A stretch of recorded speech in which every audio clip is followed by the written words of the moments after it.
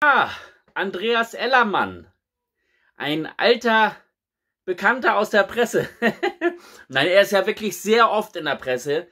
Ähm, und hat jetzt, äh, wie gesagt, wurde mit einer unbekannten, unbekannten Blondinen Blondine gesichtet, nicht Blondine denn. Wenn er mehrere, er hatte ja noch äh, Blanco, nach Blanco hatte er noch irgendwie eine Blondine und jetzt hat er wieder eine Blondine. Also ja. muss man erstmal erzählen können, Herr Ellermann. Mensch, also ja, gut, wenn das so ist, wenn äh, Sie eine Blondine haben können, ich könnte hunderte haben, aber okay, so ist es nun mal.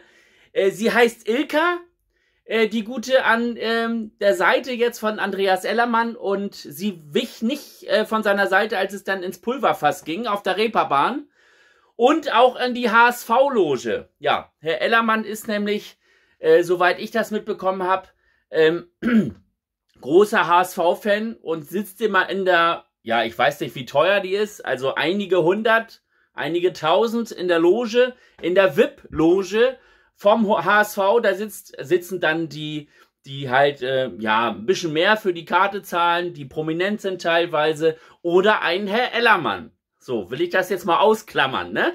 Ausklamüstern. Erst war Ellermann mit Blanco zusammen. Das hat nicht gepasst. Äh, Blanco äh, und Ellermann haben sich gezofft, auch in der Presse. Äh, Ellermann ins, ist ins Hotel gegangen, das ist die Story.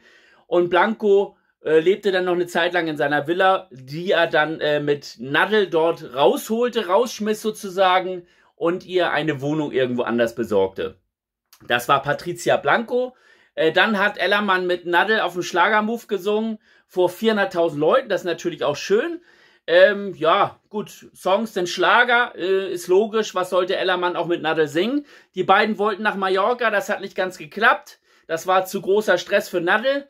Und Nadel hat ihn aber auch unterstützt äh, bei der Suche oder beziehungsweise nicht Suche einer neuen Frau, sondern auch geholfen, dass Patricia aus der Villa kam.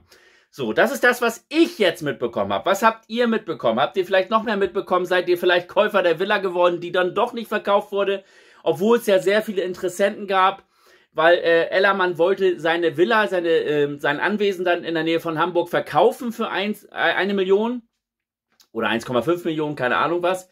Ja, drin finde ich das Haus auch, äh, finde ich ganz gut. Die Einrichtung, naja, darüber könnte man streiten, aber ist eine andere Sache, ist Geschmackssache.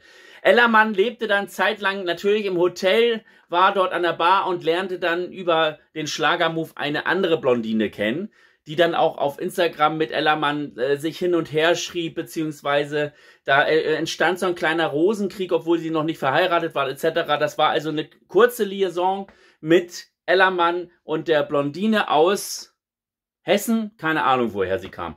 So, und jetzt hat Ellermann eine neue Frau an seiner Seite, eine Ilka, und sie kommt ursprünglich aus Dänemark und ja, wird dann mit äh, Ellermann wahrscheinlich auch Dänisch sprechen. ja, äh, in Schweden heißt es übrigens äh, das Hallo, hey, hey, hey. und von daher ja, das ist jetzt die Story zu Ellermann. Mehr kann ich darüber nicht berichten, aber das Video hat schon drei Minuten. Jetzt machen wir einen Cut.